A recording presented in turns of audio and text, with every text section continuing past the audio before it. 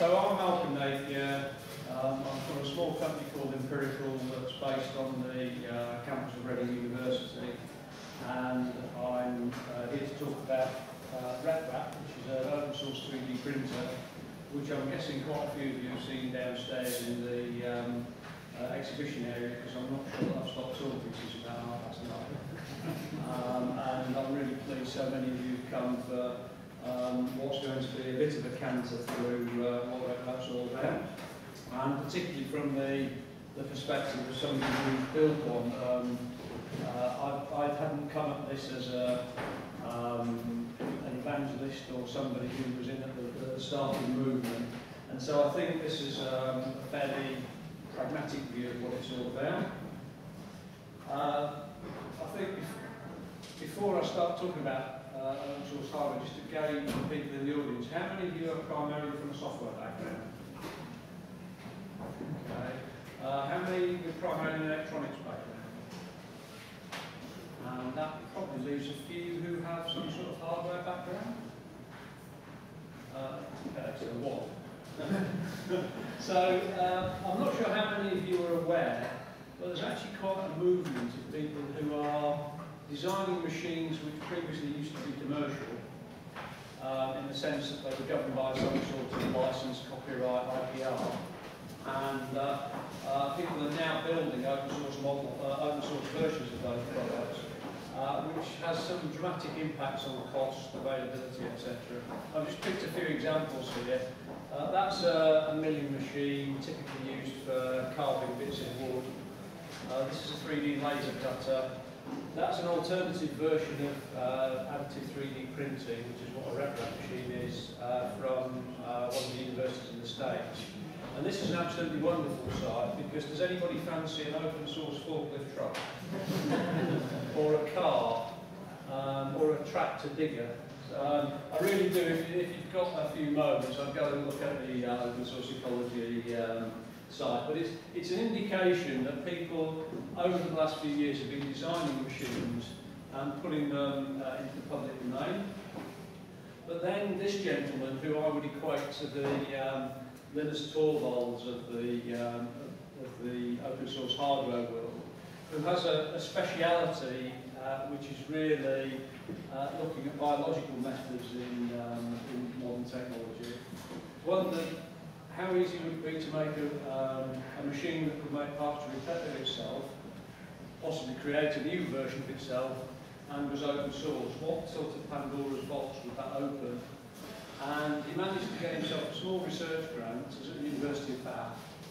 Uh, managed to get himself a small research grant to fund a PhD student who designed the first uh, 3D printer.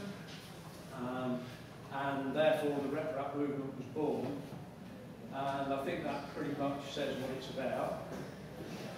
The key um, point here is fused filament fabrication is the principle of laying down layers of a um, molten material. Um, in this case it's plastic, very low melting point. And when you've laid one layer down, you don't proceed to lay another layer and another layer. So you can build 3D shapes up by a succession of layers. Um, and the, the engineering characteristics of both the machine um, and the, uh, the plastic was designed so it could print as much of itself as possible. But that, in financial terms, certainly when we built our first machine, was about a third of the cost of the machine. The other two, uh, two thirds, a third was the cost of the electronics, and a third was the cost of the motors. And as yet, those two problems haven't been solved, but there are quite a few people particularly working on the area of electronics. So I don't know how long it'll be before you can, um, you can print your own electronics using a RepRap machine. And the thing is, because the, the whole community is open source, there's lots of people innovating, and ultimately there are no um, licensing, intellectual uh, property barriers to entry, there's an implication of reducing the cost of machines, which I'll come on to in a few minutes. Um, but before I do, uh, just a, an acronym slide. Uh, these are all different technologies, which the RepRap uh, printing technologies down the bottom. Uh, but these are all different technologies that use uh, ways of building up material in 3D. And I'm not sure if you can still see it, but there was a very good programme on Click, the BBC's technology magazine broadcast on BBC News, uh, that showed you quite a few examples of the, the different uh, ways of printing, without actually plugging the companies who, who made them. So if you've got a machine that can print itself, the first problem is how do you print the first machine? Uh, and here are a couple of variations on, um, on what people made, uh, using non-plastic components, some bits up here that are plastic in the proper machines, a bit tricky to make. But basically lash-ups that enable you to print the first set of plastic parts. And therefore these machines have the name rep strap, because they're the things you bootstrap from. And technically speaking, the machine that we're showing downstairs is a rep strap machine, because we, although we use the designs for the proper machine, uh, our, our plastic parts were laser cut by somebody, so they weren't, the first set of parts weren't originally printed. Uh, once you've got a RepStrap machine, you can start building and evolving the machines. And these are all versions of RepRaps. Uh, the top uh, right-hand corner is, or left-hand corner as you guys look at it, is the original version, that's called Darwin. Anybody spotting the uh, biological evolutionists in the names is um, correct because this machine is called Mendel. That, uh, that is really an improvement because the triangulation makes the whole assembly stronger. Uh, this version down here is uh, Huxley, and that is smaller, lighter, much more portable. Uh, and this final version here is uh, called Prusa, and its claim to fame is that there's been a big simplification of the uh, plastic parts. If you look at the amount of bolts required to hold plastic things together, you can't quite see it here, but this one's a lot, a lot simpler. So we're, we're on generation four, and um, certainly my impression is this is going to be the, um, the standard going forward. And I said earlier about prices.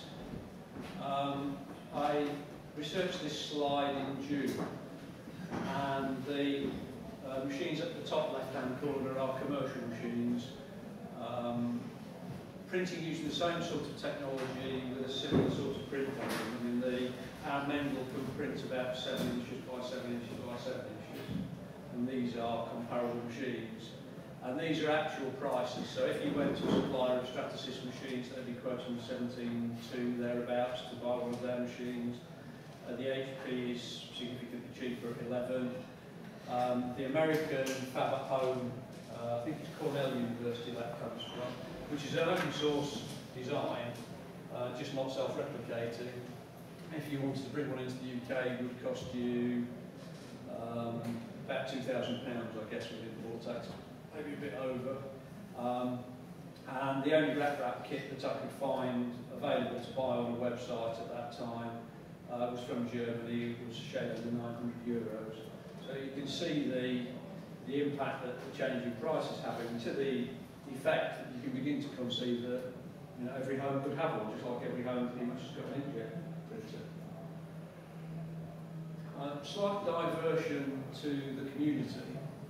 Uh, these are people who we've come across in the last year or so, sometimes more, uh, in terms of uh, they've helped us, they participate in the community very actively.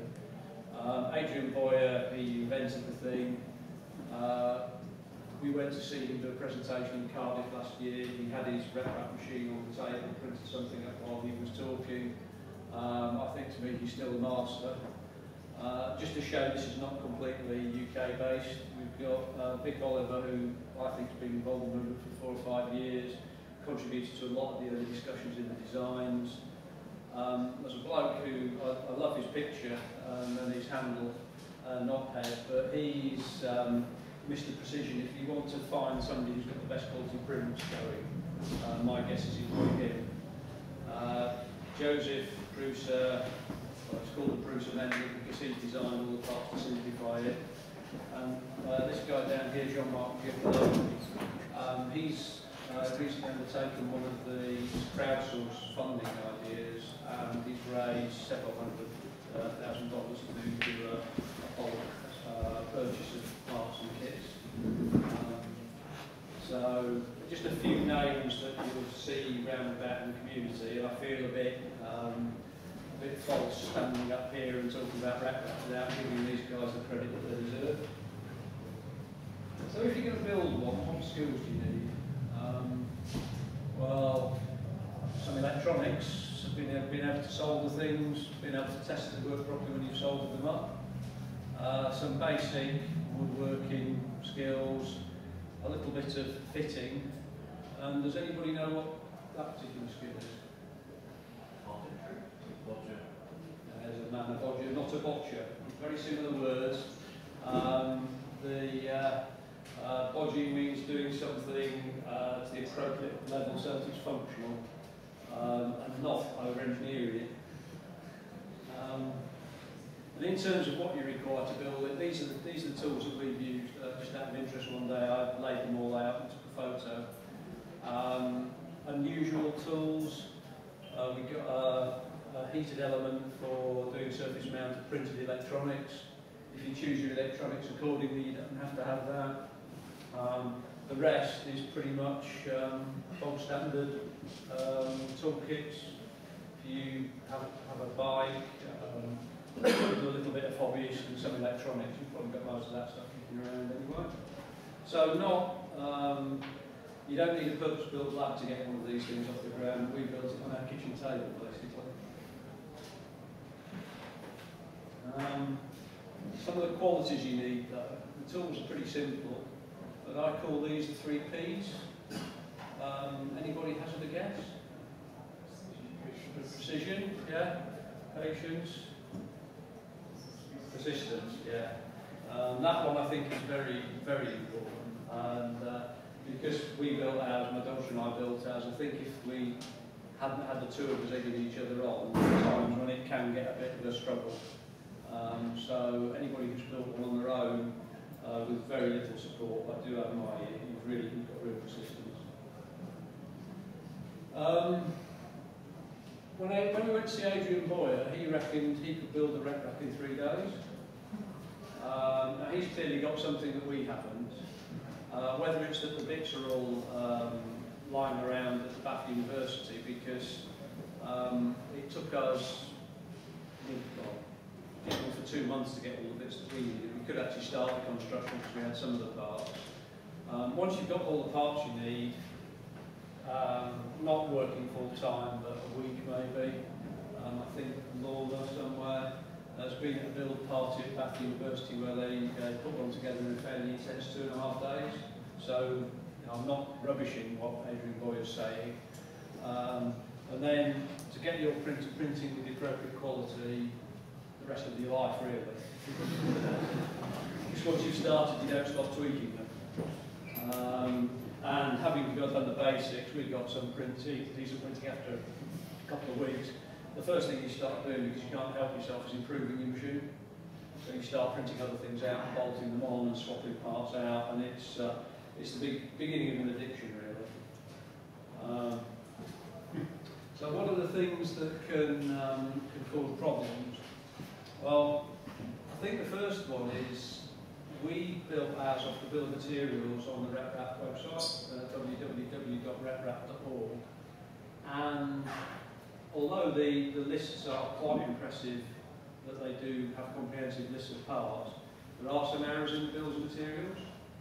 So we bought things and merrily went to pile them uh, together and then found that our parts didn't fit. And when we actually went on the uh, discussion boards or looked at the more detailed instructions, we found we'd ordered some of the wrong parts.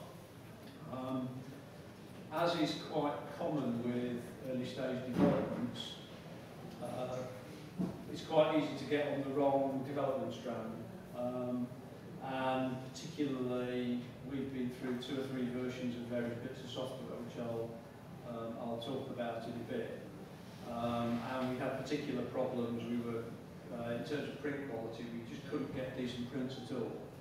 And we bought different nozzles. A completely different nozzle, uh, imported from the States. And since then, our prints have all been fine. They're not the standard uh, nozzles that are described on the RepRap site, but uh, You know, so you, you can you can get things wrong quite easily and you've got to be prepared to right stuff off. And then fine tuning does take an awful long time. So then we built our printer. How do we um, get some things to, uh, to demonstrate what clever device it is? Well, there are three broad ways. Uh, there's this wonderful website called Thingiverse, which is um, uh, a site where people upload designs they've made, and particularly if you're looking for better designs of parts for your printer, or you're looking for cool things to print, uh, that's the place to go in the first instance. Um, you can design uh, objects yourself. Uh, Google SketchUp is a possibility. Uh, we generally use a program called OpenSCAD, and we were given a, uh, design to print out today, uh, which has been generated in Blender. It was the logo uh, for OggCamp. But um, we weren't able to print it out because the uh, the object itself didn't have proper integrity, so when we tried to convert it, it reckoned to polygons. Uh, but you can spend as long as you like, and there will be people who only want to design things uh, to have machines to print them. And then you can add commercial, AutoCAD, and a whole raft of other stuff. The key point about anything you do a design is you need to be able to get the 3D object out of, excuse me, as a .stl file, uh, because that's the input. And then finally you can scan things, and scanning them, uh, we've demonstrated the turntable scan here, uh, but we're hooking up with somebody at Brighton Maker Faire in a couple of weeks' time, um, who's had to connect, and I think it's only a matter of time before Kinect becomes the de facto uh, scanning technology. Um, so in terms of print sequence, you need to get the object that you want, and you need to get it into an STL file.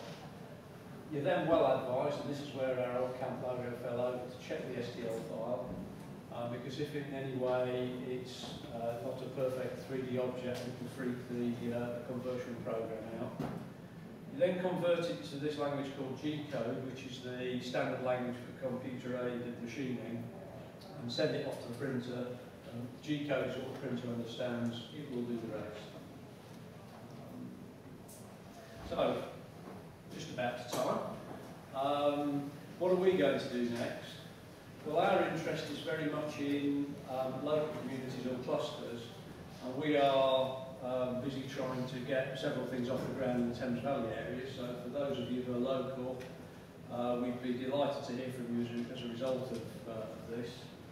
Um, we're also in two weeks' time going down to the Brighton Mini Maker Fair, where we're going to hook up with this guy with the uh, Kinect scanner, and he's apparently enabling people to design things by waving their arms in the air. And what we will do is take the STL files that we produce and we'll print them out for people to take home. And we're going to do them fairly small because that way we've got a chance of getting the 40 people walking out to make a with objects that design and connect. And then as we get into uh, October, um, we've got a friend who's a potter and we're going to have a play to swap our melting plastic head out and replace it with something that will extrude clay so that she can design pottery and we need her. We could. This is not something we could ever contemplate doing. We need her because she understands how to mix clay up with the right consistency, and of course she's got kiln to bake it once we've um, once we've got something nice. So, 20 minutes, canter through 3D printing. We're downstairs for as long as it takes today, but we're not here tomorrow. So if you uh, if you do want to have a look and you haven't already done so, Uh, please feel free to pop down. And I'll answer questions.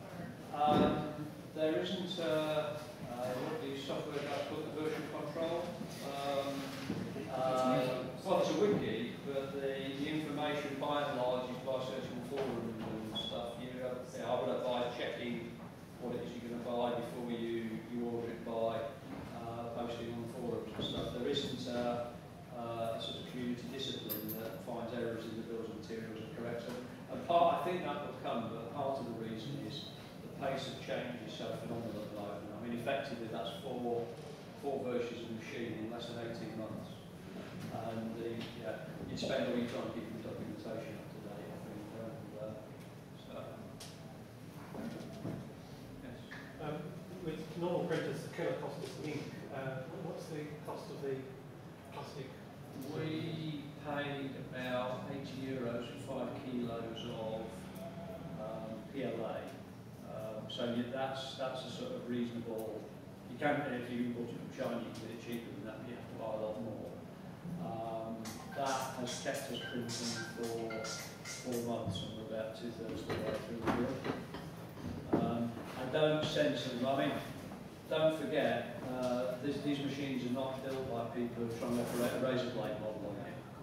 Um, so they're not giving you the printer and then stinging you for the cost of the consumables. The, the whole thing is cost plus whatever administration, uh, economies of scale. So I, I think it's unbelievably reasonable for um, if they change. Would you say it's the hardest part of it? that you- I've definitely calibrated printers are high quality. Um, I if I can go back here.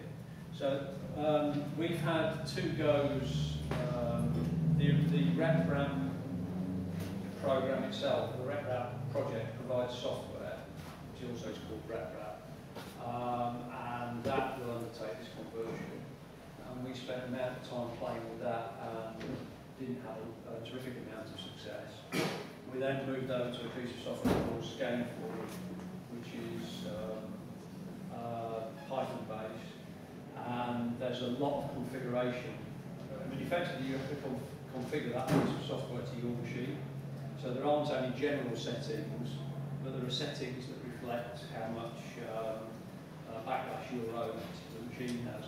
So you have to configure all that into a file, which then goes into production with G code, and that's an interesting process and it takes quite a long time. Uh, What's the most interesting thing that you've made for it so far?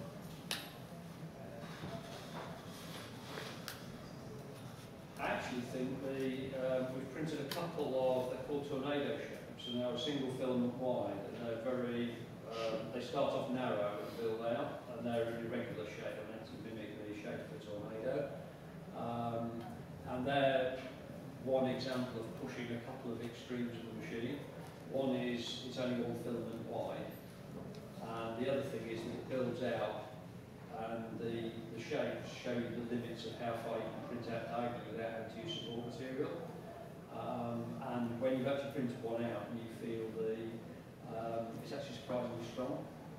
Um, we haven't got, I mean, we, we've mainly been printing bits from our other machines, which are uh, quite boring and raise the charge all you can ever use it for is printing.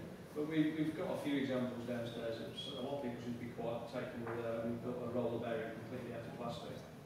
Uh, so the two races and the balls are all printed as one job. Um, and we, I've actually got three or four repair jobs that are slated to be done fairly soon. Um. I'm a software engineer and I want to print stuff. What do I, what's the quickest way I can get to one without making problem screw everything to money? Because obviously, you say you've got to build it, and to be just tracking down the parts. To me, the big, I've been wanting of these for about a year now, the biggest barrier has been trying to track down a consistent set of parts. So I get half and find bits and realize I'm changing mine. Okay, well, if, if you're primarily interested in having objects returned to you, there are bureau services. Shapeways, for example, there's a big European um, attempt to become the Amazon of 3D part provision. They've got massive installation. Got lots of machines of the varieties with all the acronyms I said earlier on. Um, if you uh, want to get parts quickly, then there are, for, to make your own MRAP, there are probably half a dozen trusted people you would go to, most of whom are listed on that slide. Um, they will, I mean, we asked for a part from uh, Chris Palmer, nophead.